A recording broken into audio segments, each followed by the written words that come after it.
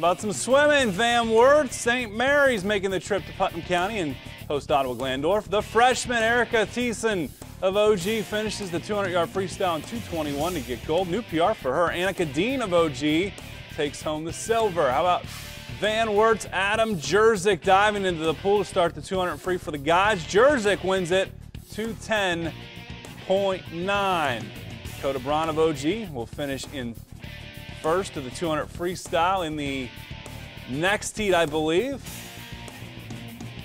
Well, we're on to girls. Ali Schrader starting off her race in the 200 IM. Team results involving the Cougars on the girls' side. Van Wert takes down St. Mary's, but falls to Ottawa Glandorf. Titans get the sweep on the girls' side. And on the boys' side, OG tries to do the same thing. And they might have. We think they did. Van Wert, though, does beat St. Mary's.